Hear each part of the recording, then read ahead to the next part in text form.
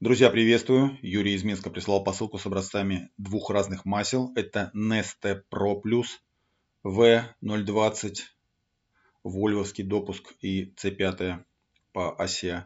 И второй образец это Fuchs Titan GT1, тоже Pro V020, тоже вольвовский допуск. Вот описание. Значит, э, два разных автомобиля Volvo V60 с одинаковыми моторами. Ну, я думаю, что с одинаковыми, потому что у Volvo, как оказалось, очень странная история по моторам. Есть два двухлитровых турбодизеля, 150 лошадиных сил, только один с одной турбиной, а другой с двумя. И разница, кстати, между ними только 30 ньютон-метров момента. Непонятно, зачем городить вторую турбину ради такой разницы. Ну, может быть, а, низы пополнее. Так, значит, первым делом я проверю Neste. Смотрите, вот такая спектрограмма. Суглицимид здесь. Эстеров особо не видно. Так, как пишет производитель данной присадки для высококачественных моторных масел. Суглицимид. С высоким щелочным числом порядка 50. Да, значит в свежем 94% противоизносных присадок. Я удивлен, очень высокий уровень. А, масло заявлено как среднезольное. Ну, очень ближе к полнозольнику. Не знаю, вот по крайней мере так прибор намерил. Далее, так, сейчас я подправлю. Ну, достаточно давно проверял. Значит, э, щелочное 7,7 и кислотное 1,63.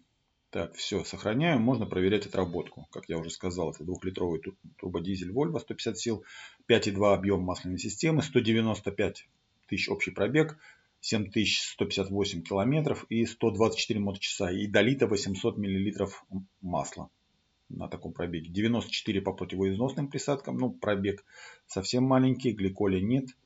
Э, значит, нитрование Высокое нитрование, честно говоря. Для дизеля вообще.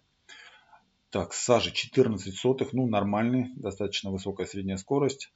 На единицу, почти на единицу выросла кислотная.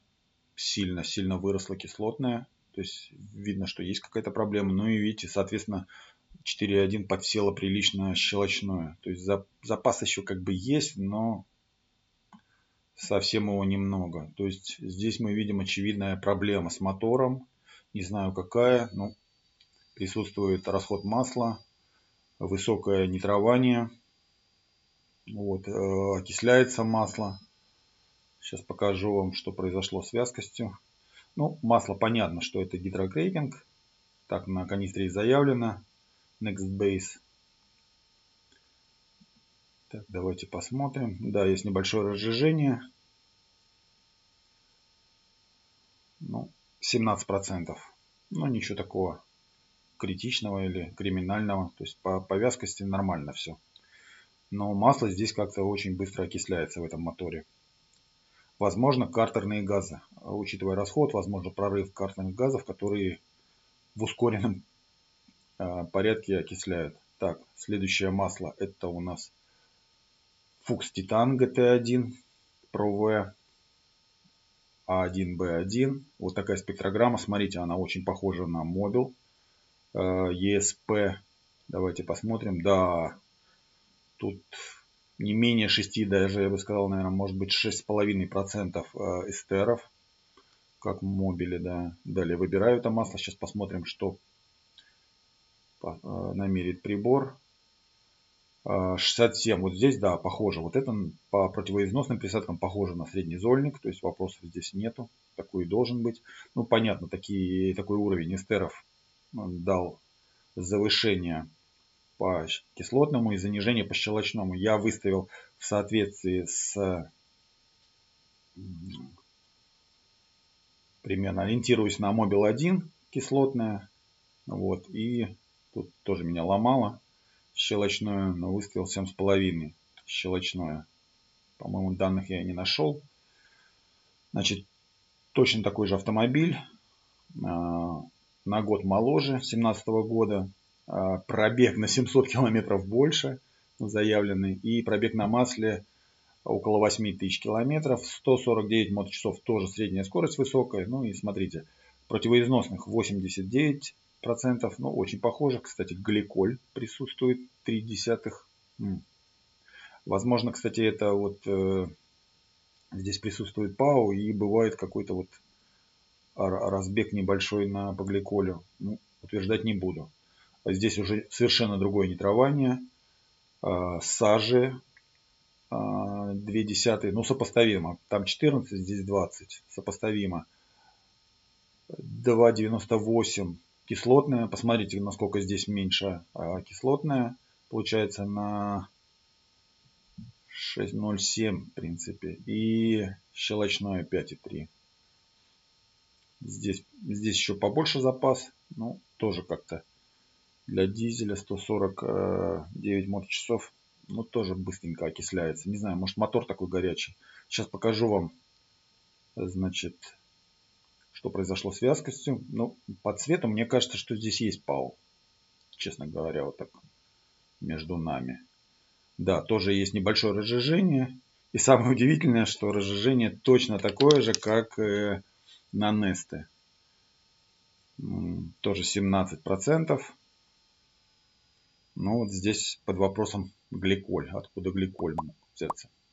Да, не забывайте отметить видео.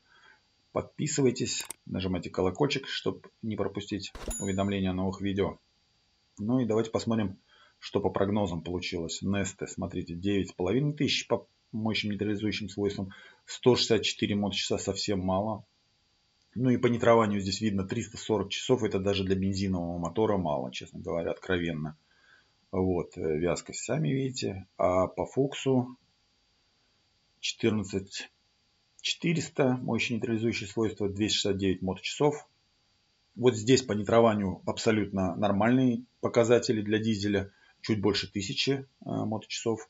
Ну, по вязкости, сами понимаете, видно, что у первого автомобиля очевидные есть проблемы. Э, то ли со смесью проблемы, хотя по вязкости не видно. Скорее всего, это прорыв все-таки картерных газов, вот, которые, значит, э, ускоренно окисляют масло. Ну, по крайней мере, другого объяснения нет. Вот. Нитрование очень высокое уровень повторюсь, даже высокая даже для бензина, для дизеля это не характерно. Ну, дизель где-то, вот нормальный дизель, вот так я смотрю, где-то от 800 моточасов и выше, а бензин от 400 до 500, а здесь 340 по, по дизелю. Вот. Возможно, что, возможно, что здесь спидометр у первого автомобиля сильно накручен. Тут не 195, а каких-нибудь 350 тысяч. Возможно, что уже естественный износ. Ну, сами видите, да, по масло совершенно по-другому отработало. Ну, плюс еще такой момент, что, естественно, у Фукса однозначно база получше, потому что здесь совершенно точно видно пятую группу, которая в большинстве случаев сопровождает четвертую, дополняя ее недостатки некоторые. Соответственно, по, по общему, по общей отработке, вот так я бы сказал, что Фукс а, отработал ну, в данном сравнении практически в два раза лучше, чем Neste. Вот. Хотя э, не стоит сбрасывать со счетов состояние первого мотора. Что-то как, что-то какая-то есть проблема в нем. Вот, владельцу можно по посмотреть. Э, по пассаже одинаково. Топливное нельзя сказать, что какие-то проблемы имеет. И в одном и втором случае топливное работает нормально. Но вот э, что-то, что-то, что-то есть. Если бы топливная работала плохо, если бы это была смесь, скорее всего, это отразилось бы в первую очередь на саже, это же дизель. Вот, и сажа была бы высокая. А в первом автомобиле в проблемном моторе она, наоборот, низкая. Ну, вот такой получился тест. Пишите, что думаете. Благодарю Юрия за предоставленные образцы, за поддержку канала. Всех, кто посмотрел данное видео, благодарю за это. Желаю всем удачи и здоровья. Береги себя и близких. Всем мира. Увидимся в следующих видео. Пока.